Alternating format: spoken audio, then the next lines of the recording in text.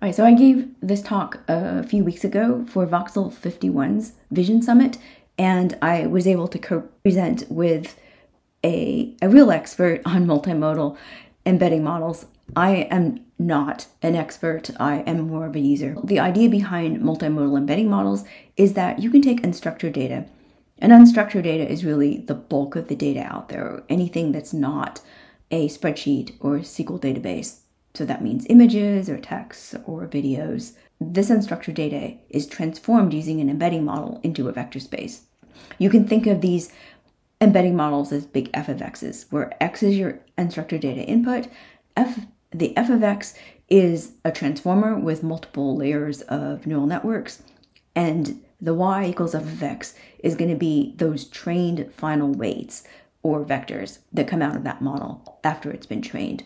By multimodal embedding model, what's going on here is that regardless of the original media type, these the vectors are all going to reside in the same vector space, which means that when you search this vector space using approximate nearest neighbor search on vectors, which is super fast, typically just a cosine calculation of distance between vectors, what's retrieved could be image or a video or even text. So, for example, if you typed in King of the Jungle, you might retrieve another text similar to King of the Jungle, or you might retrieve an image of King of the Jungle.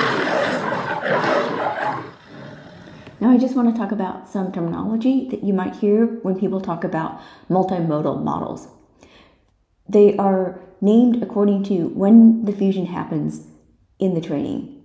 So, for example, late, mid, and early fusion models. Well, late fusion models were the earliest, uh, beginning with OpenAI Clip in 2021. You'd have a text transformer model and you'd also have an image transformer model. This is called two towers of transformers that are trained independently of each other with contrastive loss per tower.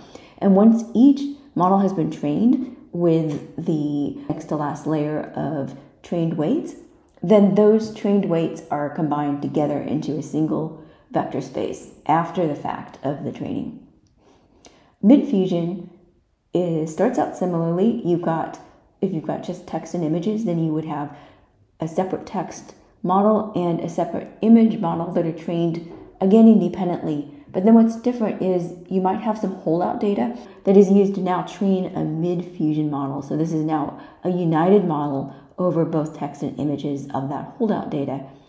And some examples of this architecture were there was an early Google DeepMind in 2021, Salesforce Blip and SFR, as well as some versions of trillion parameter models from Gemini and GPT-4V. The holy grail, things that we've only just recently started hearing about, is early fusion. And this is where you have just one model that is trained together on all media types all at once without fusion after the fact. So fusion is happening while the model is being trained.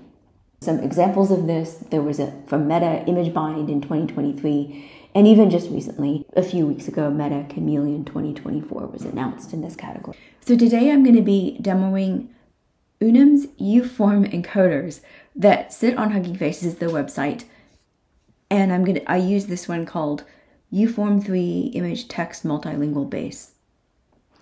What's exciting about this is embedding models are getting smaller. And this might be counterintuitive because you might think a larger dimensional vector means higher accuracy.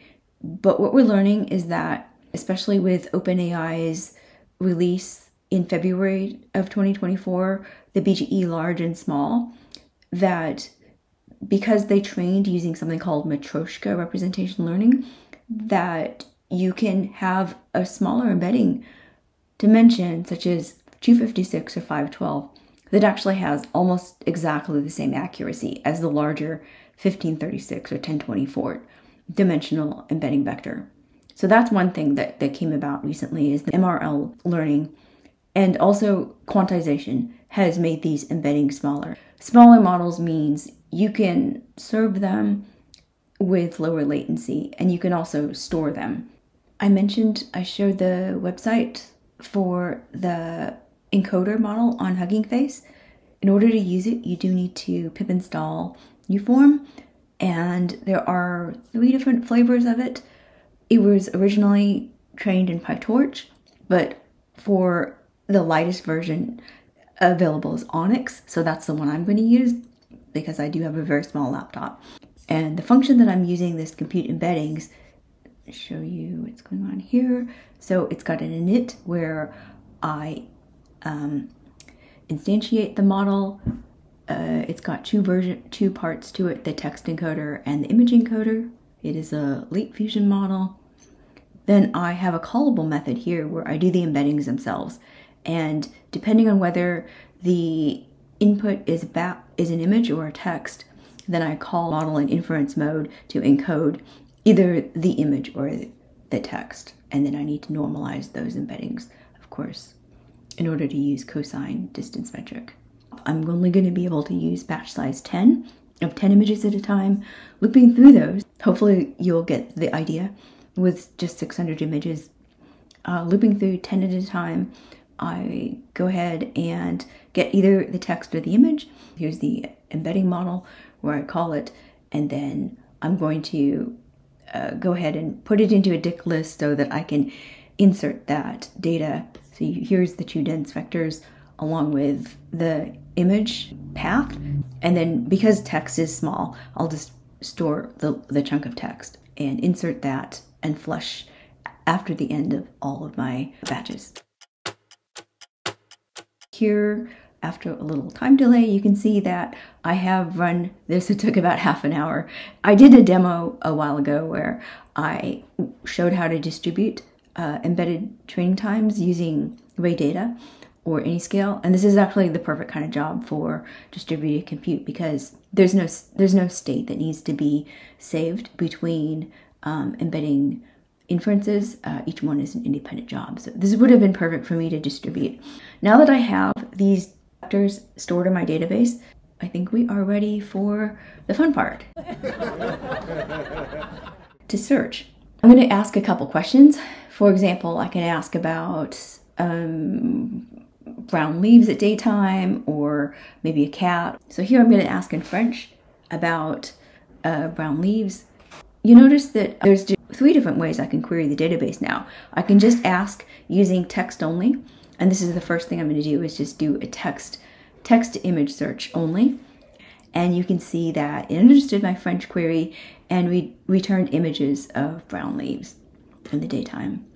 Now I could also search just images, and this is called reverse image search. So now I'm ignoring the text, but I am going to search just the dense vector field for images. And let's say I chose a cat, like this cat on the left, to search, and return images and I should get other cats. Now I'm going to use both text and image. Here I'm just going to try out the multilingual capabilities of this model. Uh, the last choice I had here was Arabic, so I'm going to ask this question about Rocky Mountains at the golden hour, and I'm also going to give it a sample image so that I can do a true hybrid search of both text and image at the same time. And yeah, I should be getting uh, a little bit better now I think these are not so great, and I think it's just because I don't have enough images to get such such great return results. Complete demo of RAG with the G part. I'll do a, a quick uh, generative generation using the images that I searched for. I'll use GPT-4o. It's not a demo of GPT-4o, but just to finish the full RAG circle, I'll go ahead and set some parameters, have my sample question in Arabic, I'm going to have my system prompt to write a short travel blog. Just for fun, I'm going to output it in Hindi and also ask for it to be in HTML so that I can have this as a web page. I've got my LLM name, which is GPT-4o. I've got a fairly high temperature, so I'm letting it be creative. Yeah, it generated some HTML. So let me go ahead and copy this HTML and I will put it in my travel blog.